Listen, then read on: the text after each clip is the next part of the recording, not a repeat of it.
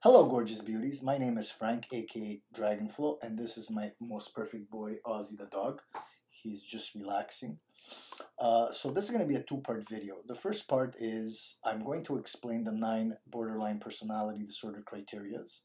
And in the second video, I'm going to tell you and explain how my ex girlfriend showed me or displayed these particular criterias. My ex-girlfriend was a high spectrum borderline, so she actually scored 9 on 9 on the borderline checklist. So it's going to be a very nice case study. Okay, so the first one of uh, borderline symptoms is fear of abandonment. Now, we're all slightly afraid of abandonment, but most of us, you know, if our girlfriend, boyfriend doesn't call us for a few hours, we're not going to freak out. We're not expecting an immediate text and we're not expecting things to go like us completely sour because the person didn't answer the phone right away. With borderlines, it's very common that they're very clingy because they're afraid to lose you, and in the it's also one of the reasons that they lo- love bomb you. They want to keep you close. They want you to feel special during the love bombing phase. But a lot of it is because of this fear of abandonment. They don't want you to leave until, of course, it's over and then they'll leave you and they'll sabotage it with you. So, number two, unstable relationships. So, it's very common for borderline uh, people, especially girls, that their relationships don't last more than six months. Uh, so basically, what happens, as I've mentioned a little bit, they love bomb you for a little while and they think that you're perfect and they act like you're perfect. And then when they're sort of done with you and they want to clean their hands of you, they're kind of like angry with you, always screaming, always picking fights. And so this creates a very unstable environment and therefore creates very unstable relationships. The third one is unclear or shifting self image. So borderlines tend to be like social chameleons. So they need to adapt to the people around them so that they could manipulate them and get resources. This is how sort of borderlines make a living, if you will. So because they're kind of playing the social chameleon, they never have a real sense of self. You know, like let's say you have X variable hobby, you you like to have a certain type of job, you have a certain type of character, you say certain jokes. Let's say you like to drink or you don't like to drink, uh, whatever. Borderlines will tend to love stuff relative to the people that they're around in that moment so that they could fit in and so that they could manipulate those particular people. Fourth one, impulsive or destructive behaviors. So basically, uh, there's a lot of drug use in some borderlines, a lot of alcohol use, uh, a lot of even just kind of sabotaging friendships, relationships, ties with uh, with the family the my ex girlfriend did a lot of drugs. There was an instance we had like a bag of marijuana muffins, and you're supposed to do a little bit, and she did like half the bag, so she was like mentally paralyzed uh, that night. So that's impulsive self destructive behavior.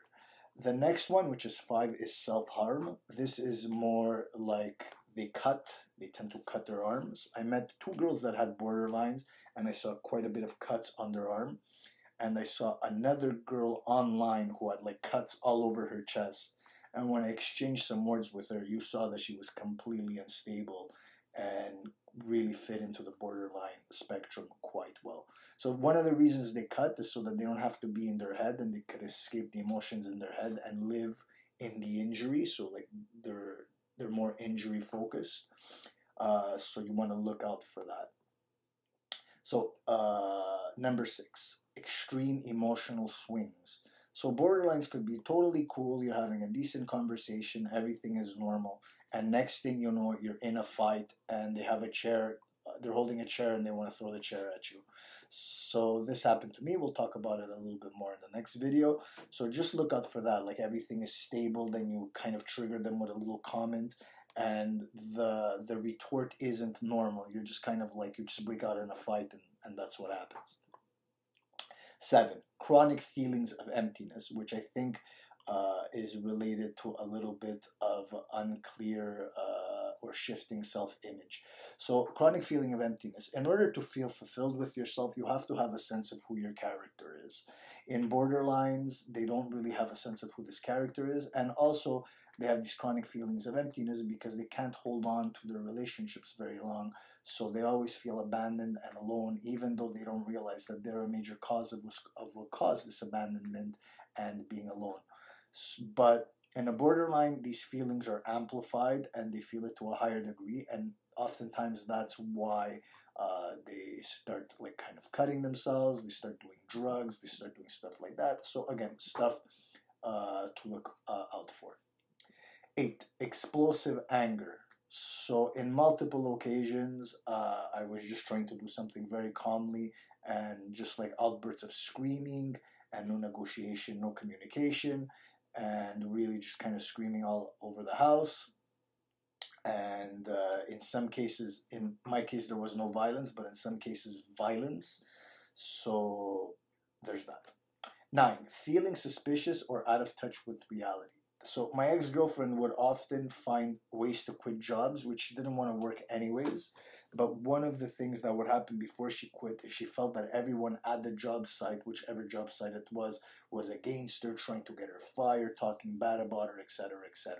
So if you're talking to someone and it's always somebody else's fault, somebody's against them, there's a whole group of people that are against them, uh, they're not mentally kind of uh, cohesive in in group scenarios without it being without and without ending up being something that it's like oh my god they're trying to attack me they're trying to fire me they're trying to kill me etc etc well that's feeling of suspicious or out of touch with reality. Now in some cases people are going to be trying to screw you and trying to get what's yours so fair enough.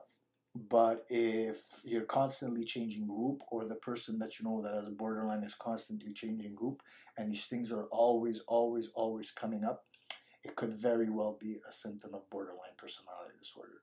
So that's it. Please like and share the video if you enjoyed it. Uh, I will hit you with another video tomorrow or in a couple of days. And I love you very much. Namaste.